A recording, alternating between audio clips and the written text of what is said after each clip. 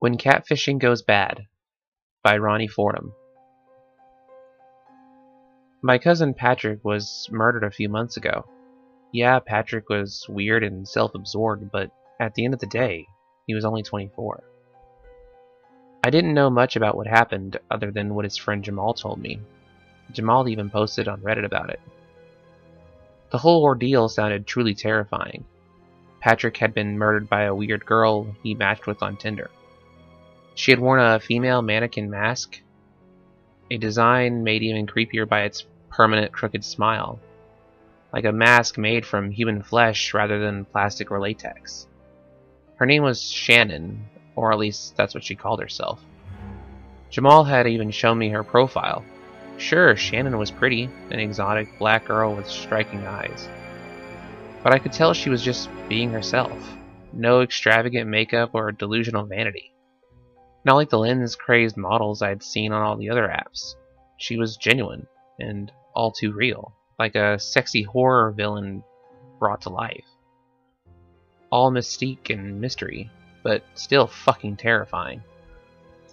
Like a haunting memento, Shannon's profile was still right there on Tinder for all to see. Her mannequin mask concealed everything but those hypnotic eyes. The police never found her, and at this point, I doubt they ever will. When I was younger, me and Patrick were close, but we grew apart over the years. I guess that was normal considering how far apart we lived. I was in Rincon, Rincon, Georgia, and he was in Stanwyck. But I felt terrible. I found out what happened. His issues didn't make him evil. He wasn't that weird. Then again, I guess I was more empathetic because I suffered from the same low self-esteem. Even with my attractive face, I was very unconventionally handsome. Not hot enough to be on as a pretty boy. Five nine, slender, not athletic, long brown hair, bright eyes, pale as fuck, shitty fashion. Yeah, all I could ever attract were guys. Not that I was mad since I was bi, but I preferred women. But for whatever reason, they didn't seem attracted to me. And in a conservative one Walmart town like Rincon, I mean, being openly bi wasn't exactly encouraged. And unlike with bi women, people always acted disgusted rather than aroused when they found out I liked men too. Maybe most women were hesitant to say that they were turned on by it. I don't know. Goddamn double standard. I was also horrific at talking to girls. Here I was, 21 years old, James Fulton, and I could use one hand to count on the number of times I actually had sex with men and women. I guess my anxiety carried over all to all these real life conversations. That and I wasn't hot enough. Or confident enough for that matter. Not to mention I was taking all my illustration courses online at SCAD. Rincon was about 40 minutes from Savannah, so yeah, kind of a hectic drive just to go flirt with SCAD's finest. Not that my social skills would let me score anyway. So, like a compulsion, I'd resort to Patrick's hobbies. Yeah, I'd show off my body to people online. About the only way I could alleviate my loneliness. And on the internet, well, my social awkwardness didn't carry over. I could see why Patrick did this, even when it almost got him killed, and when it eventually ultimately did get him killed. There was excitement in sexting, to being an exhibitionist. I felt wanted. I felt sexy. But I did it I did get bored from it from time to time. Even online, I couldn't make myself look better.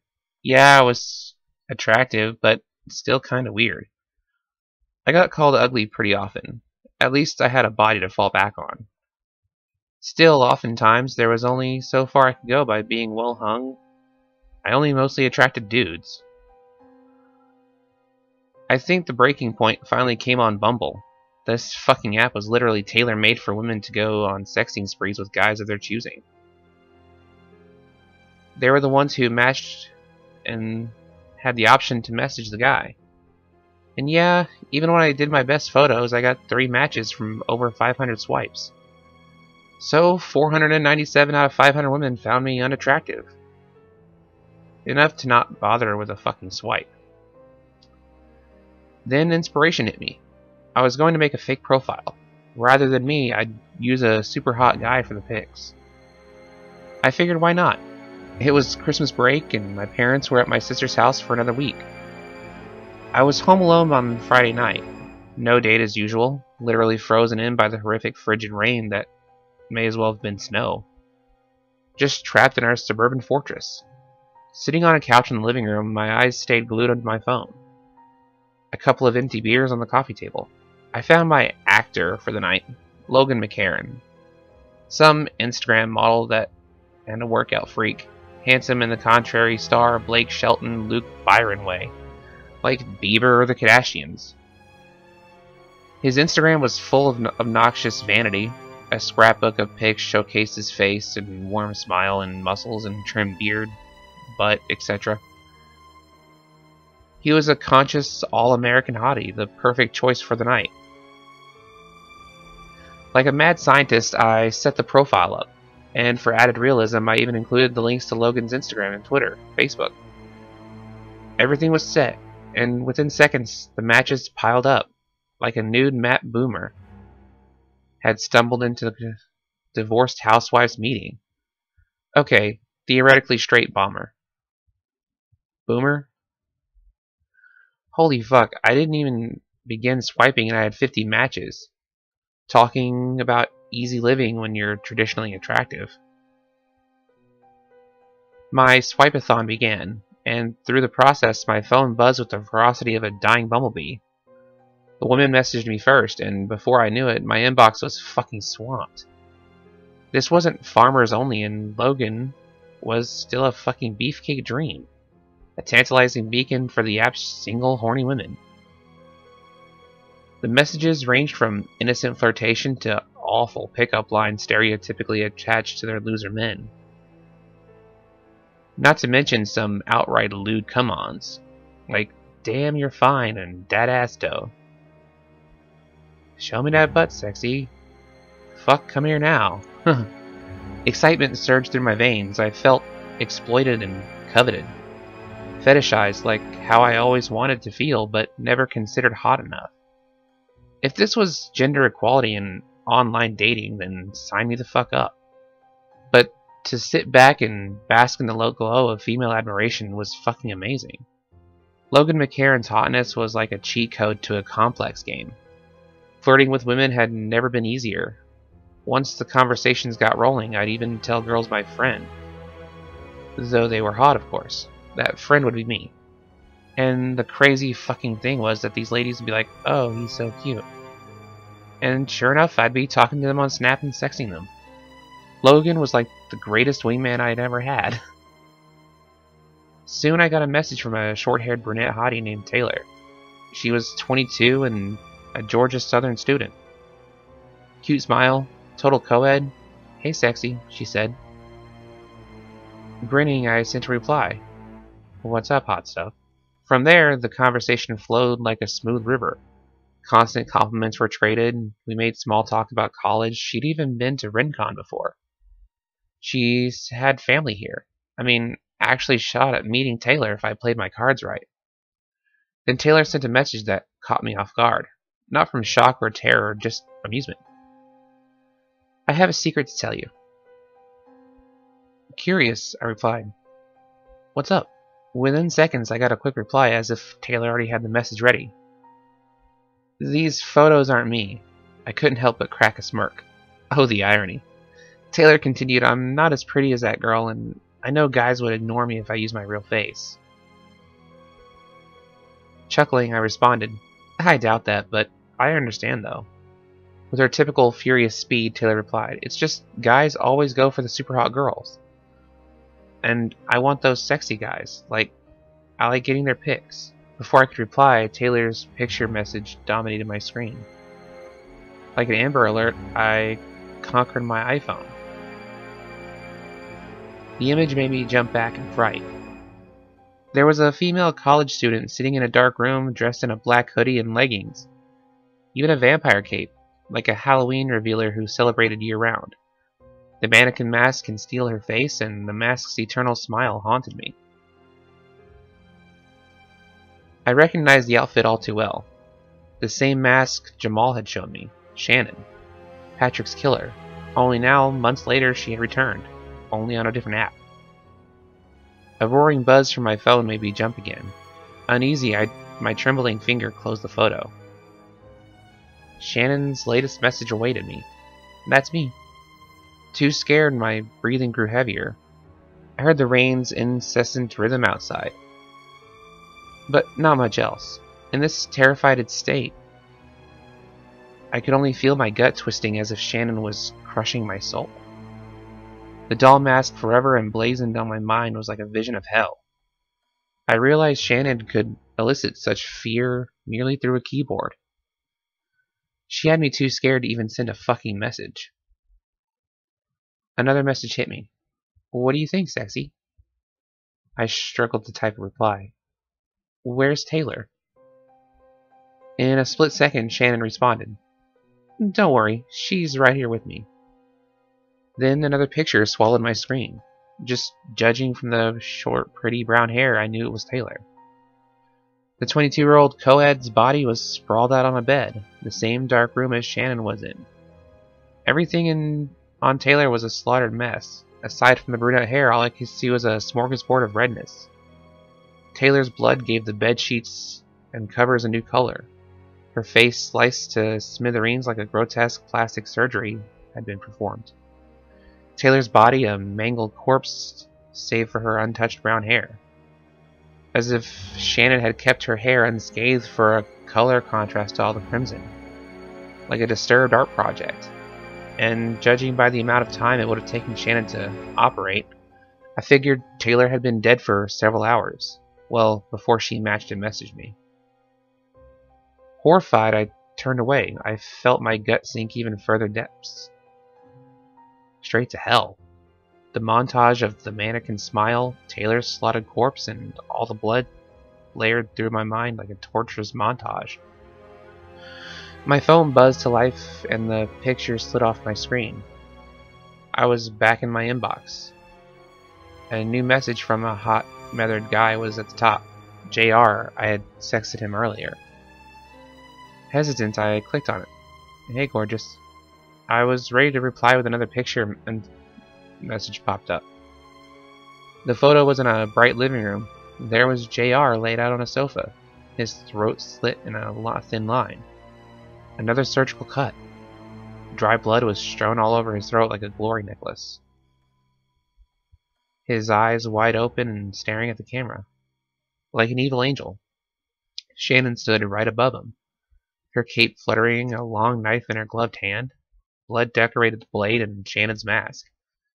Like JR, her eyes too stared at the camera, only rather than a lifeless gaze, those cold eyes were focused. From my perspective, they seemed to be marking my soul. Fuck, I said in my trembling voice. I exited the picture and went back to my inbox, too scared to even look at the array of pretty faces overpopulating it. For all I know, Shannon had killed each and every one of them. My phone vibrated once more, sending shockwaves through my fingertips. I saw a new message pop up from Shannon herself.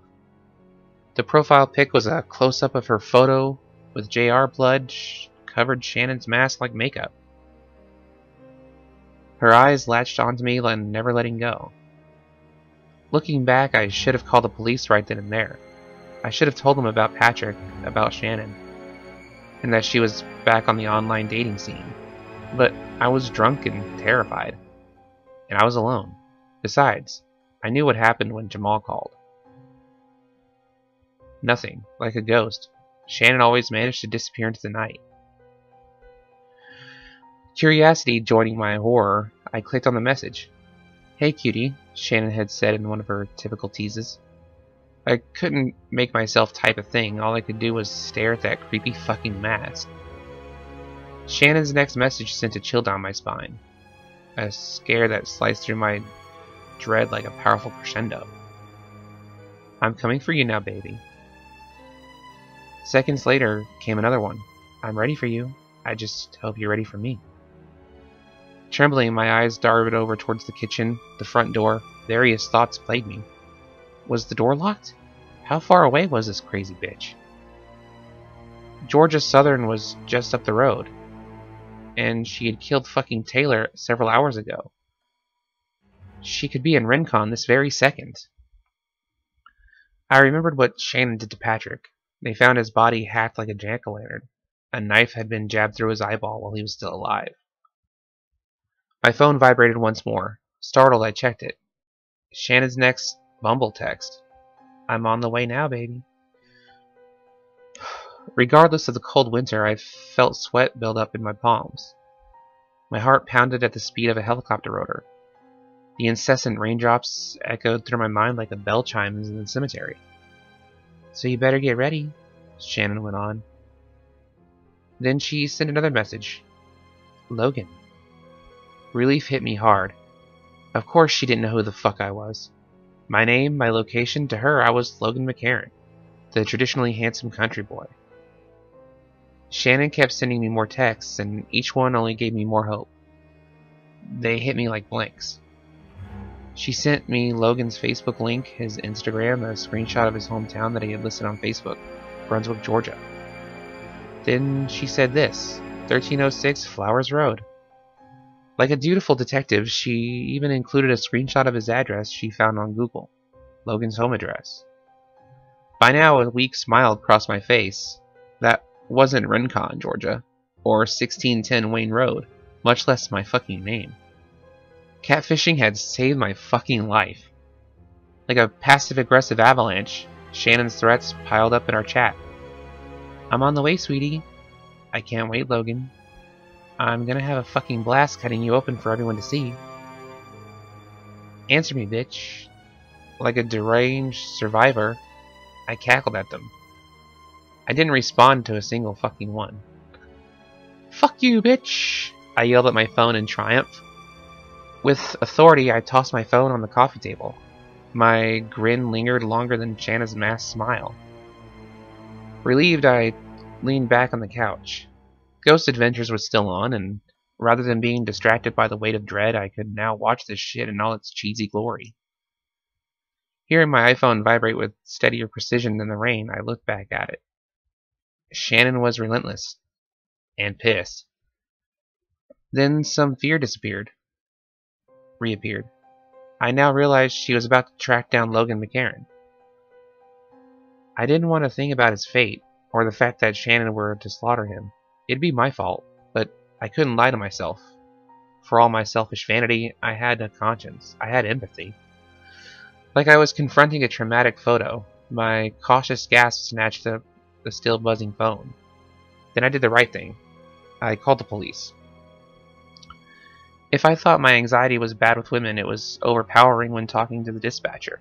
The fact that she was female with a pretty voice didn't help. But I did it anyway. I had to, and I managed to explain my crazy story.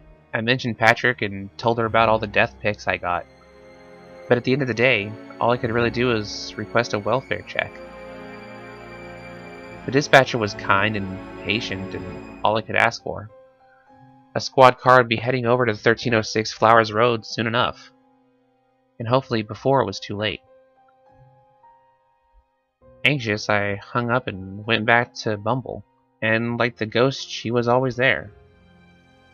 Shannon's profile was gone, and as were Taylor and JR's, all the disturbing photos gone with them. I was disappointed, yet I couldn't help but feel some relief. Shannon was out of my life now, out of my fearful mind, and off my Bumble. With sickened amusement, I couldn't help but wonder which this killer Cupid would be up on next. That bitch was a literal heartbreaker. Over the next few days, I stayed off the apps as much as I could, but my loneliness only increased over the break.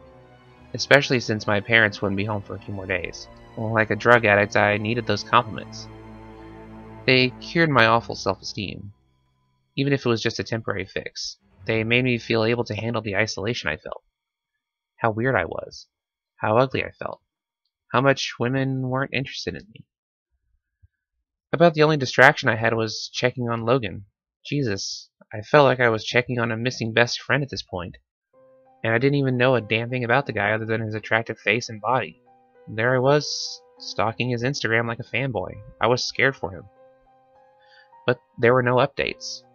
Every day at night I'd check, but there was nothing. And for an attention whore like I figured Logan was, I knew the silence wasn't a good sign.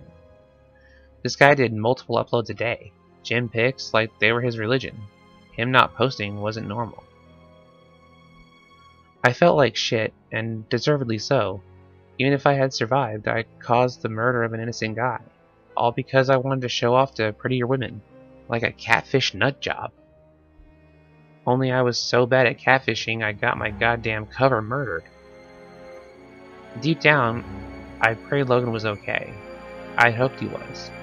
Maybe the welfare check scared Shannon off. Then in a sick cycle, I wound up back on Bumble. This time back on my own profile. The loneliness had finally gotten to me, the stress, and yes, the guilt. I had to jump back into my hobby, my exhibitionism, ecstasy. So here I am tonight, back to scrolling in my usual unattractive women. Regardless of how conceited they are, I'll still show them what I'm working with. At least I'll still get that thrill. All was going to, well, my usual sensation of frisky fun until I got a new message moments ago. The ghost had returned. My phone buzzed like a taser hitting my hands, and several more messages from Shannon poured in. Feeling a chill, I stared at her phone profile pic in dread, right at the eerie blood-stained mask and all those piercing eyes. My insides contorting, I clicked on the message. And many different photos greeted me, all of them Logan, the same sexy ones I'd used. Like a scrapbook, I'd scrolled through many of the pics, and they led down to screenshots. One of them showed the fake profile I made. Then I saw where Shannon had sent me several other fake profiles that used the same pics, all with different names and locations. Poor Logan had been unknowingly had been an unknowing bumble whore all along. My heart felt like a collapsing roller coaster when I saw Shannon's next message. You can't fool me, asshole. This ain't you. Conflicted, I didn't know what to do. Again, she avoided the cops. Shannon was still here, still with me. A new picture message hit me in the face. One of my smiling sex messages. Like a proud exhibitionist I was. Whatever confidence I felt evaporated right there. Fear took over. I couldn't control my trembling fingers. My pounding heart, my scared tears. The picture went away, and then another message from Shannon greeted me. That's you. Fuck, I said through the sobs. The iPhone shook in my grasp. I felt a mental breakdown erupting through my panic. Here's your friend, Shannon replied. Another picture popped up. Even in my current state, I felt more tears pour down my face at a stupid rate. Oh god, I muttered in terror. The photo showed me Shannon holding up a pretty severed head. The coiffed beard made it obvious who he was even without the rest of the body. Logan. Like a red dye blood smeared over Logan's beard. His mouth was open to a scream his eyes wide in fright. Logan's neck was hacked in one cool slice. Surgical efficiency. One of Shannon's trademarks. And there was Shannon holding the severed head with pride. Her eyes stared at on the camera, as I could see how excited they were. How much sadistic fun she was having. I could even picture her own beaming smile behind that fucking mannequin one. The photo went away and Shannon's next message reappeared. Through the tears I had to read it. I felt helpless and hopeless. There was no getting away from Shannon now. She had me trapped on Bumble, and my own exhibitionist comfort zone. I knew you looked familiar, she said. Shannon sent a video message and a footage of Patrick's death, all the stab wounds he had to endure. His screams so tormented, the final jab in his eye, a brute flourish of finish. I cried out in anguish. Like an aggressive cop, Shannon continued hounding me, taunting, torturing me. Her next message arrived. I can tell y'all are related. Weeping, I tried to wipe away my tears, but they kept falling. Gallons of them splattered across the iPhone screen over Shannon's confident profile pic. I'm gonna find you now, Shannon went on. Oh, fuck, I yelled. No! And at the mercy of my phone, all I could do was stare at the screen. My emotions paralyzed me, on the living room couch, all the terrified murders I had seen replayed through my mind, and the dread of what would happen to my next consumed my soul. She was a teasing a final stab. Shannon deliberated on her next message, and then it arrived with a cold vibration. You're next, James. And that was uh, When Catfishing Goes Bad by Rhonnie Fordham. Um, yeah, this one was a little bit weirder for my taste. But what did you guys think of this one? Did you guys like this one? Let me know in the comments section, and I will catch you guys in the next creepy story.